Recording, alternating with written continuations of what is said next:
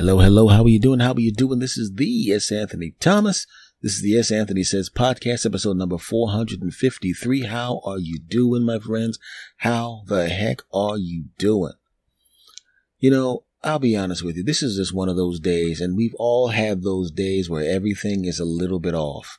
For me, everything was a little bit off. I almost forgot to record this episode because that's how off I was today everything from the moment I woke up all the way up until just now was a shade off. You know, like when the, those old Rubik's cubes back in the day where you'd have the nine colored squares on the cube on each side and you'd have to twist them this way and that way and this way and that way.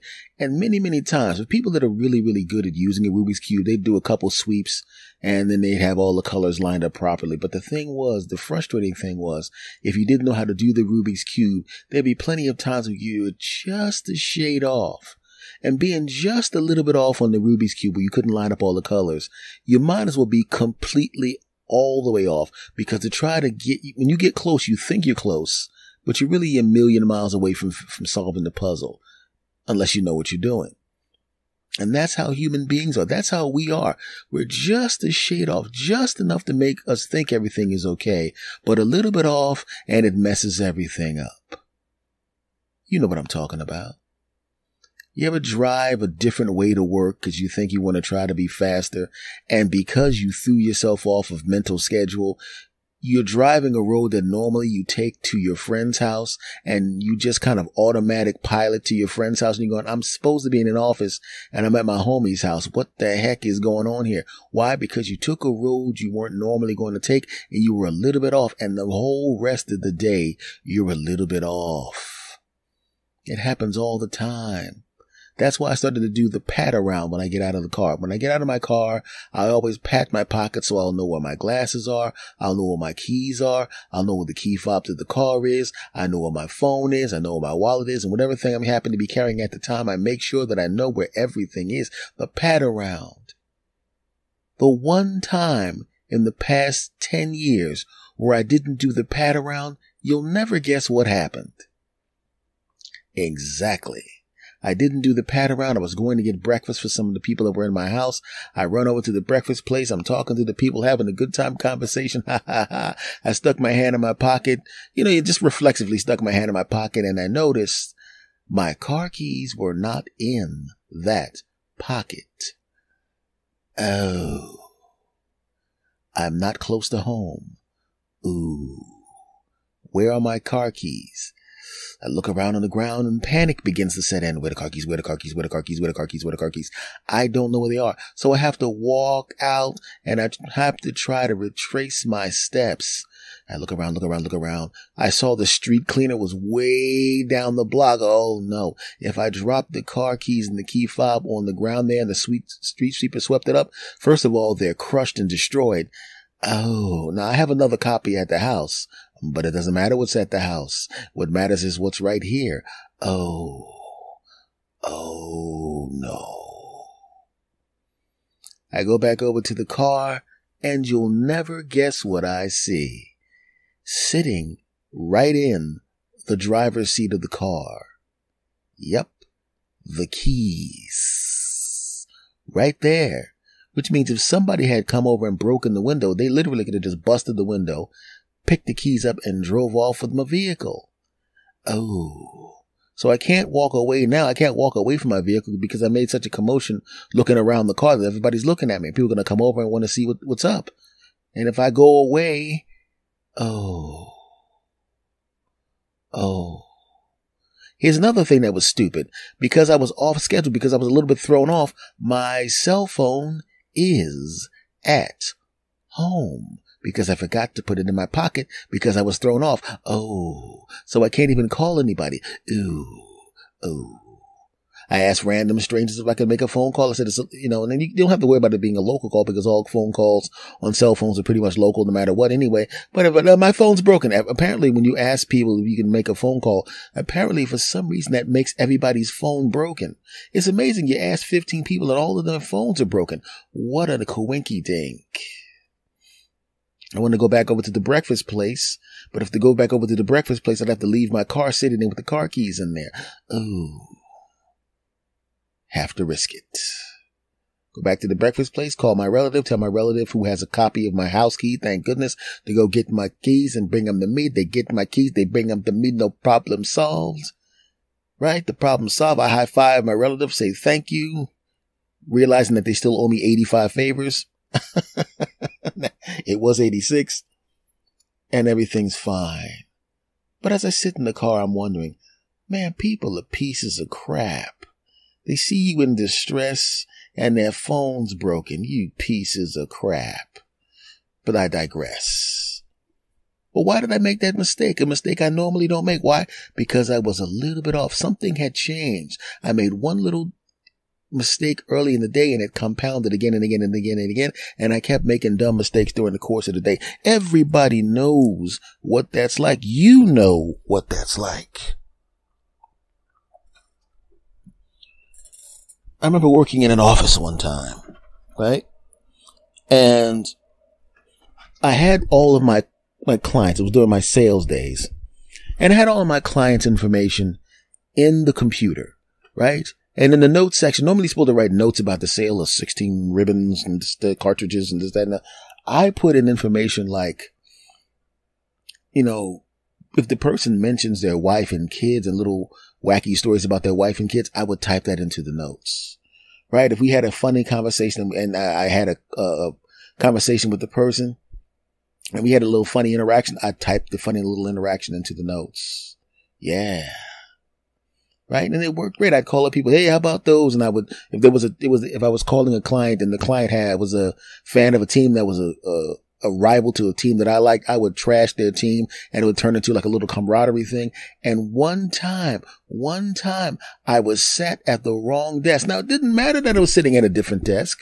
It's one little change. It was just, I was just backward instead of looking out at the wall. I mean, looking out the window, I was looking out the, at the wall. It was the same computer uh, terminal. Everything was the same except I was tapping into my accounts. Why was I thrown off? That one little thing threw me off. So much so that I actually, when I called the client, almost lost the damn account, called the client and I started referencing things that someone else said. And the guy thought I was crazy. Um, no, we didn't talk about that. Oh, come on. Ha ha. I think he's joking. He's not joking. He's now getting annoyed. Hey, um, um, I remember And he started to get annoyed. You don't even know who you're talking to, do you? You know what? He started getting upset. Almost lost the client. One little thing had changed and I was thrown off. It's amazing how that works. You know, you see what happens when you have a relative that's the, the cornerstone relative to your family. Maybe they're your grandparent where everybody congregates at grandma or grandpa's house, right? And then unfortunately they pass on to the great beyond. And that person was the only person holding anyone together. It's one member of the family, an important member of the family, but one member of, member of a large family. And that one member goes away and all of a sudden the whole family splinters. One change one person missing. And all of a sudden, relatives that you used to see five or six times a year, you see them at the mall and you realize it's been quite a while because the last time you saw them, they were carrying their child. And this time their child is picking them up from the mall in a car that they're driving that they own because the kid's 18 now, and not two. It's been that long. And the only reason it's been that long is because that one person passed away. One change. One of the best things about human beings are the fact that we're creatures of habit. That's an amazing thing. And it's one of the things that gets us through the day. It's one of the things where we can put things on autopilot and it's okay. But sometimes when that one thing changes, when that one little change throws everything the hell off. I had a situation before where I had an old phone number. And once I changed my cell phone number, I still had the, the answering service on the old number just in case there were people I hadn't get, I couldn't get in contact with. And I would check that number religiously every day in the morning. I check it and then I would check it in the afternoon and then I would check it in the evening just in case. And eventually I had gotten everybody over to the new phone number or so I thought. One of the bookers that I knew hadn't updated his file, and for some reason I had forgotten to update the file. Normally I'm very meticulous. I literally will sit there with the list and go through all the names, but I didn't do it this one time. Oh no. Didn't check the messages. He didn't call. And most of the time, bookers don't call me because I'm so reliable. When I show up, there's no reason to check on me. So they do not call me. They just book me and then they'll see me when they see me the next time. So there was no reason for me to expect a phone call. And then it kind of seemed like I got to everybody, uh, but I did not. He called to let me know that they had changed the format of the club. They weren't doing Wednesday, Thursday, Friday, Saturday, Sunday anymore. They were just doing Friday, Saturday, Sunday. There were no shows on Wednesdays and Thursdays. So you're not, we're not going to lower your pay. You're still going to get the same pay, but you make sure you just show up on Friday. Don't get here Wednesday or Thursday because we're not, you're not on the show Wednesday and Thursday. We're not doing regular shows Wednesday and Thursday. They went to an open mic format. Open mic meaning like amateurs can come in and learn how to do their craft or professionals can come in in in practice or work on new material. I wouldn't be there. I wouldn't travel that far for an open mic night because that's a weekend gig, a real gig, a real show. But he called the other number. Me making a slight change, not being as OCD as I normally am about those things. That one change, that one slight thing that had changed. Oh no. I make the long trip Yes, looking at my notes on the way, preparing, getting ready. And they, they, they, get to the hotel that I normally stay at, and they all know me, but they, they, what are you doing here? I think they're kidding. sure. I, they're not kidding. Oh. I drag my luggage over to the club. The booker's not there. Oh. I go to where the booker is. Hey, man, what's going on? What are you doing? You, you, oh, you, oh, you, man, what you doing here, man? You come to town? You gonna, you, you gonna do some sightseeing? Something? What's going on, man? Would you visiting or something? What's going on? Why you here so early? So early? Yeah, I told you, don't be here Wednesday and Thursday. You come Fridays and get, what number did you call? I called the, the, the, the, the, my number's not anymore. Now it's just, it's a Oh. Oh. Well, that's the only number I have. Well, my new number is set. It's set for the flat. Oh, let me update the, the, the, the, the notes. Okay, okay, I got your new number now. But what are you doing here? Oh, you didn't get the message. No, you called a different number. Oh, oh, and I'm not close to home now. And this, I'm basically a homeless guy with, with luggage, right? Well, you could stay at my house uh, for a couple days, no problem. I kind of don't want to stay at his house. He's a nice enough guy, but I've met his family. And I already know what it's going to be like. I've seen his family come to the club and hang out at the club and everybody's having a great time. And literally, these people are d- d- d- dysfunctional in front of people. So how dysfunctional are they going to be if I'm inside their home in the confines of their home?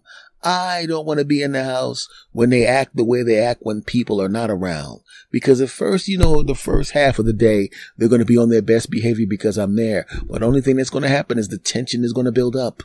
They're going to want to snap on each other and curse each other out and say things about each other's mama and maybe even throw some stuff. I know they're going to want to do it and they're going to be withholding and holding and holding it back in because me, a guest is at the house and then it'll explode. I know that and I don't want to be there for that. I don't want to be standing on the porch talking to the cops.